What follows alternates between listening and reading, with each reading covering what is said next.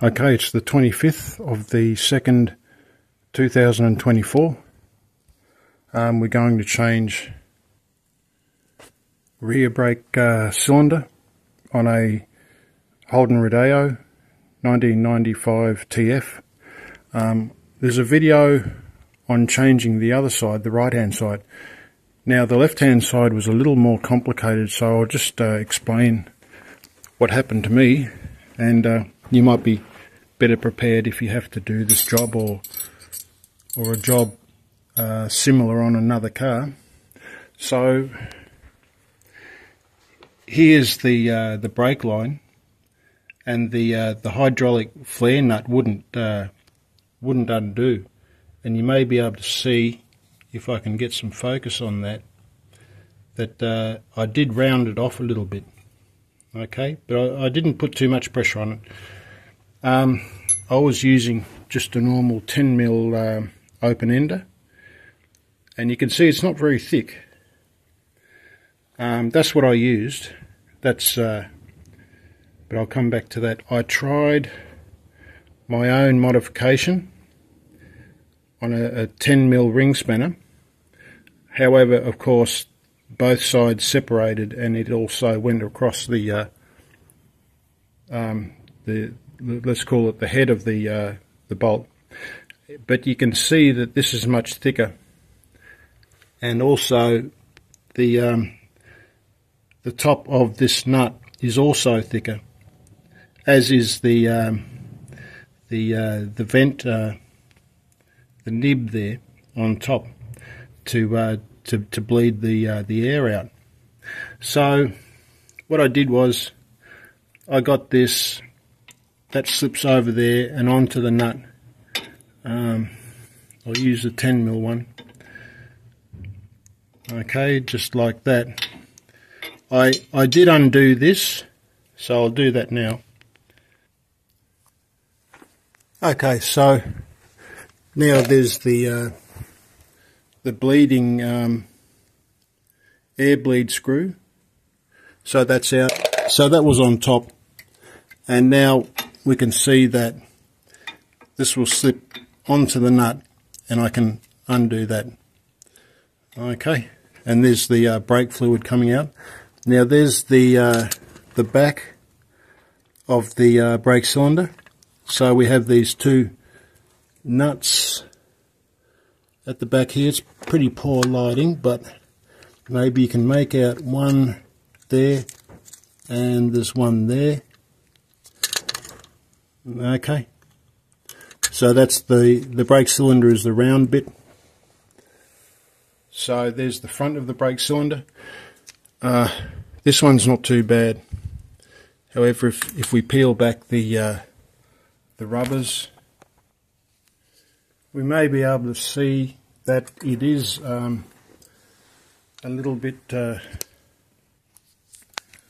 um, damp in behind there. The other side's been replaced, so now is probably a, a good time. It's going to be pretty challenging to to film in there, but you probably get the idea. Some dampness down the bottom there and on the other side. Okay, there's the, uh, they're calling it a tubing wrench set. That's what I bought. I bought it on eBay for about $25. So we get uh, these three, looks like um, 17 to um, 10 millimeters. Okay, so that's what uh, got me through. Okay, it seems like uh, Protex is the builder of, uh, or the manufacturer of the brake cylinder. So that's it, what we were looking at from the back with the two nuts. Um, the two holding nuts go um, in there. There's the bleeding valve there. Um, and that's where the uh, the brake line connects. Okay, so that just fills up and pushes the two pistons push out and push the uh, each side of the brake cylinder onto the shoe on both sides. They spread apart and they go onto the drum and spread apart on the drum and stop the car. Okay, looking around the back of the brake drum, the uh, the hydraulic line, the hydraulic line uh, is separated.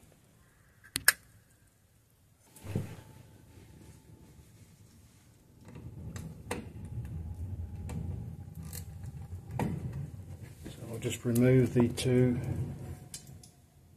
nuts on the back.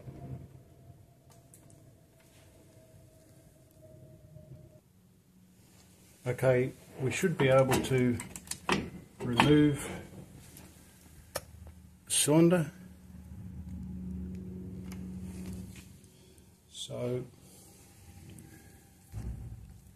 here's our new cylinder on top.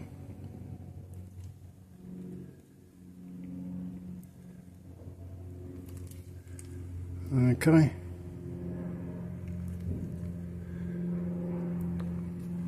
So the um, the one on the bottom's from 1995. So it's been doing a fair amount of work for a long time. So there's the uh, the old piston.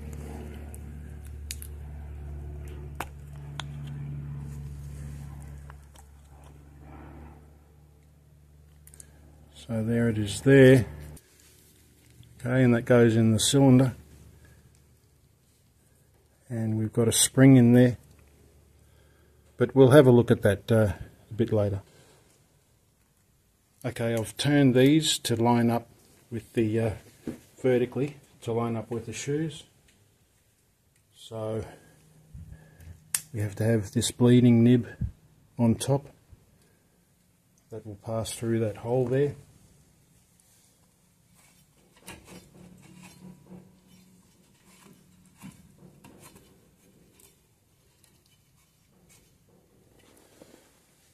I might just clean that up a bit.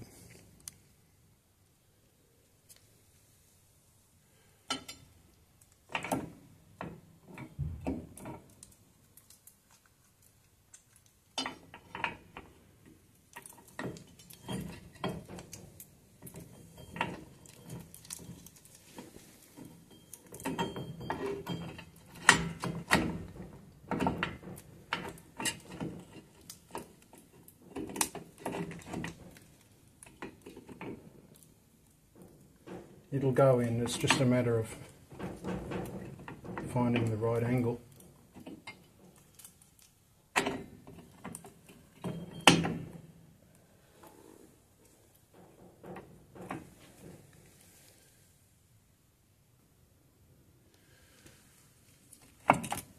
Okay, that's it.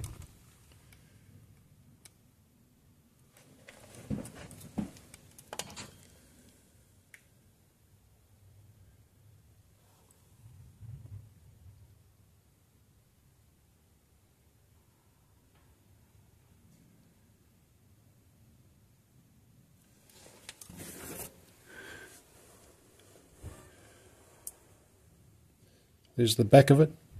So I'll put the two uh, screws in the top and put the uh, the brake line in and uh, we'll go from there. It's quite an easy job. At this point you need to uh, just top up your uh, your brake um, reservoir there.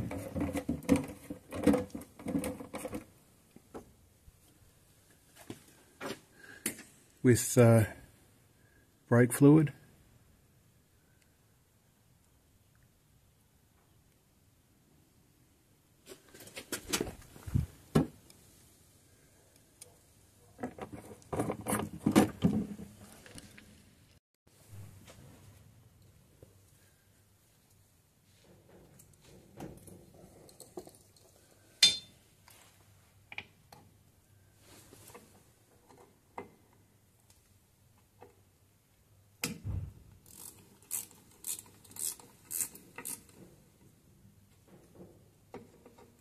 I'll snug these up later.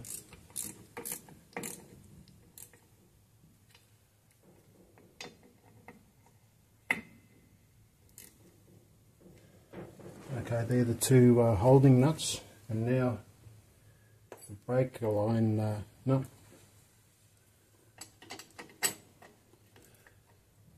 I'll take the bleeding valve off so I can gain access to uh, to the hydraulic uh, line. So this travels in a fair way, it's got a fair amount of thread. The hydraulic line. So I'll work on that a little bit. Okay, I'll snug up the hydraulic line.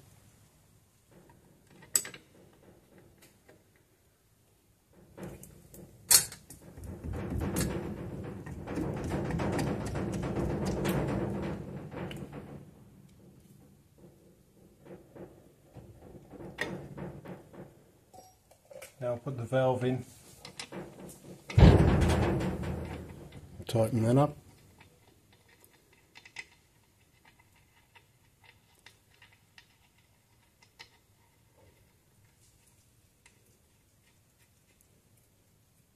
Might help if I turn it the right way.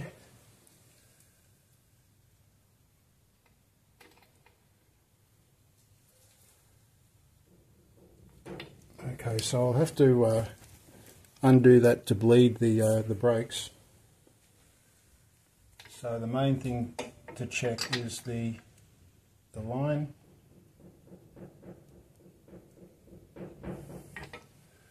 And the nuts.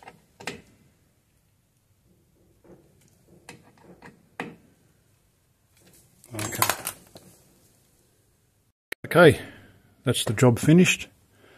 Um, don't forget to put your uh, drum brake on before bleeding the brakes um, because the, the pads push against the, uh, the inside of the drum. Um, just as a check, just make sure that everything is um, tightened up. So that's the uh, the line, hydraulic fluid line is tight. The uh, the bleed brake uh, brake bleed valve. I have checked that. Um, and the two nuts, I can just find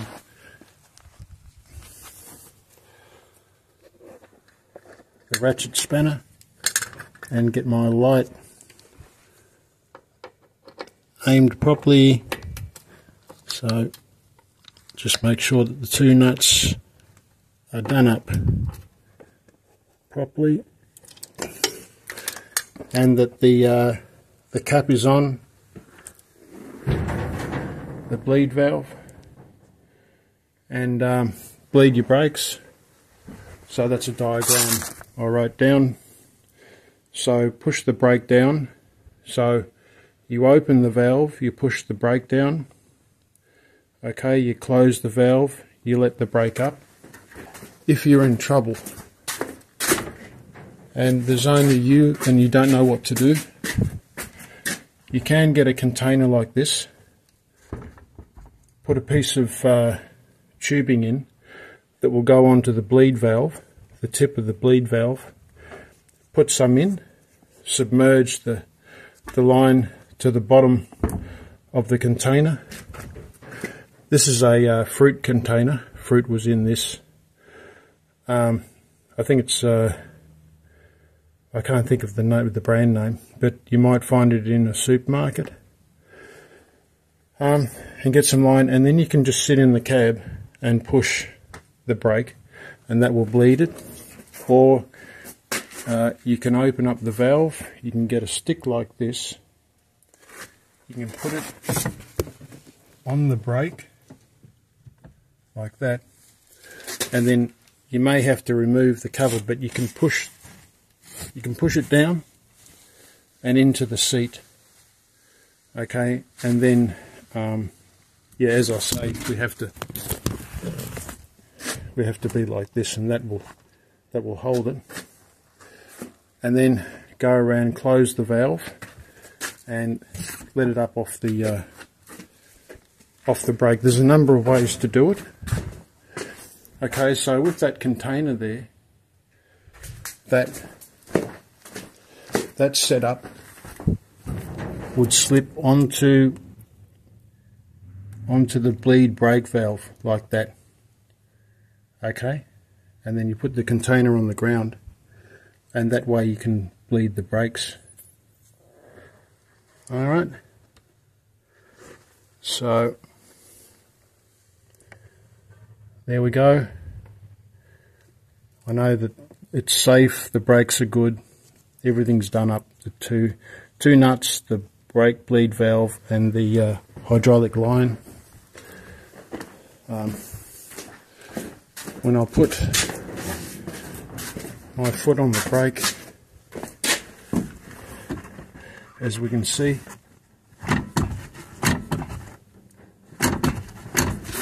that's got uh, good travel on the brake pedal.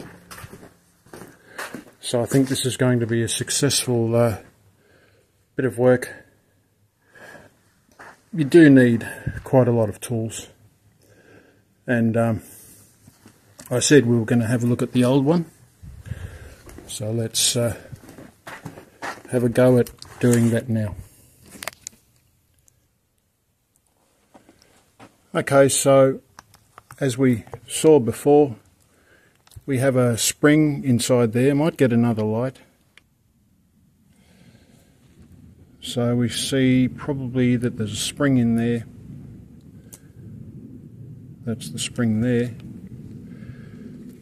And inside there looks to be a piston in there. The spring is tapered. It's thin on one end.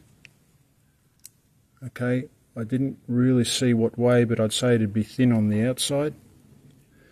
We have a nib here on the end of the piston. Okay, so in between there and there, that's rubber. It's flared, it flares out. Okay, this has just got a bit old, I suppose, and some brake fluid has got past it and into this region here where it's a bit rusty.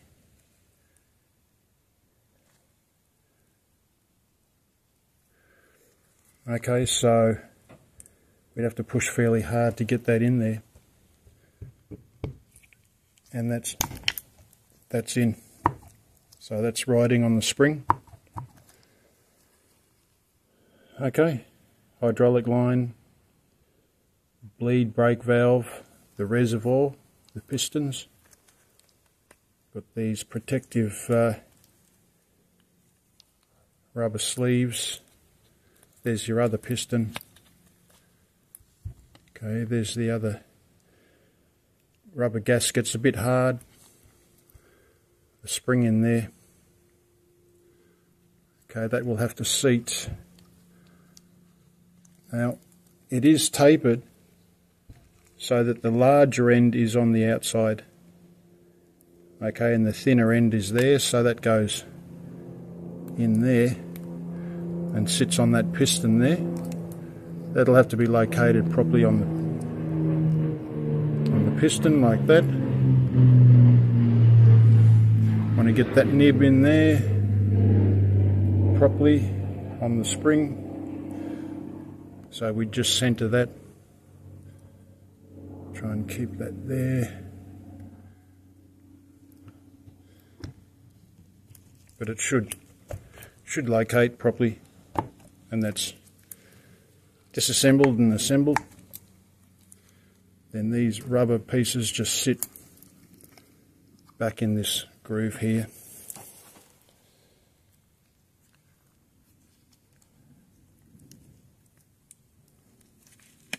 Okay, well, wear gloves. You know, I don't believe it. I think I've got a leech and the leech has somehow got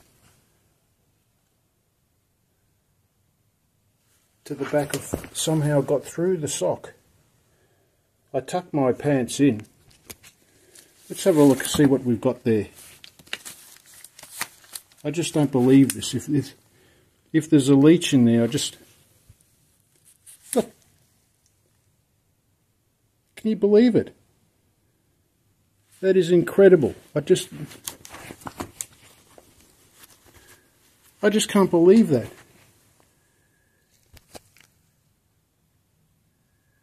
That's my blood.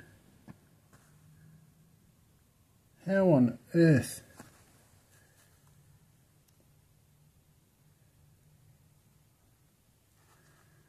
How in the name of God did he get in there? So he pushed his way. That's going to be a massive. That's going to be a massive uh, bite. That's going to swell up. You know, these things are incredible. They they have all sorts of um, uh, sensory perception, and they can even um, detect molecules in the air. Anyway, I just don't know what to do. I mean, as I say, that's how I took precautions, and yet he's pushed his way down there and up up there. I don't believe it. Sometimes they seem to just appear out of thin air. And I'm working in a garage too, so yeah, I can't explain that.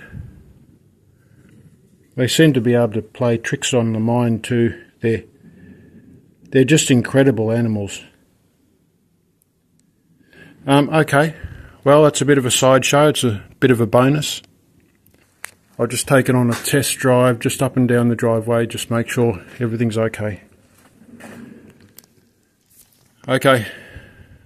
I hope this video helps. Please like and subscribe.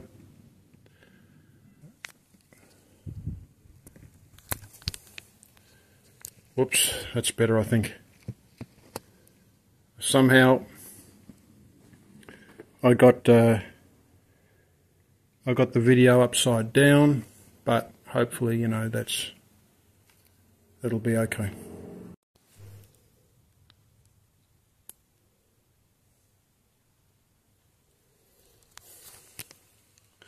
Honestly, I don't, I don't know what to say.